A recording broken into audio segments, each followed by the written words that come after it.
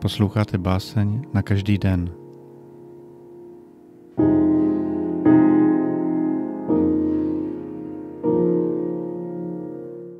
Šestého března 1806 se narodila anglická básnířka viktoriánského období Elizabeth Barrett Browning.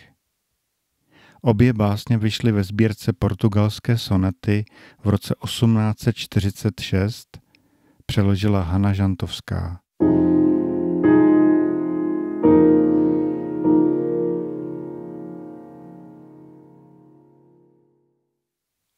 Ty jsi přinášel mi mnoho květů, milý, v zimě i v létě do pokoje jsem.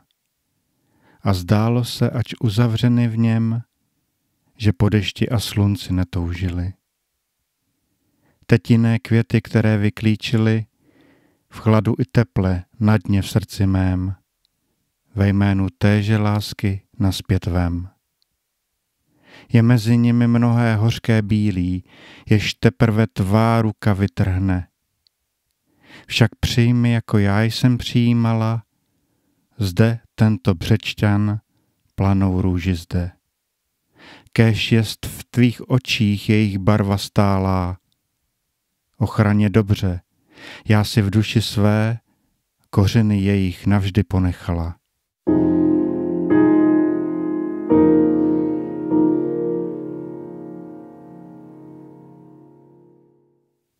Všem, kteří v srdci mne kdy milovali, svým srdcem děkuji.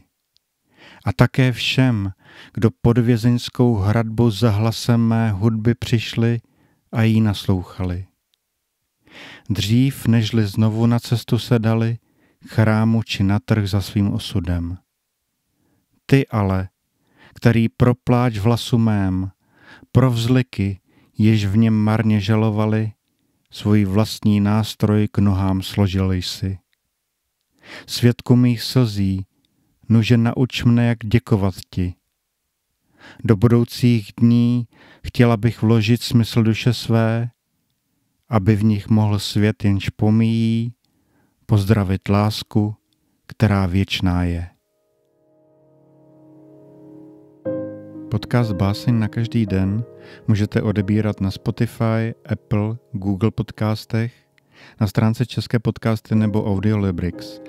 Pokud chcete pravidelně dostávat můj novinkový romantický týden, všechny informace najdete na webu www.rogner.cz. Děkuji, že posloucháte a čtete.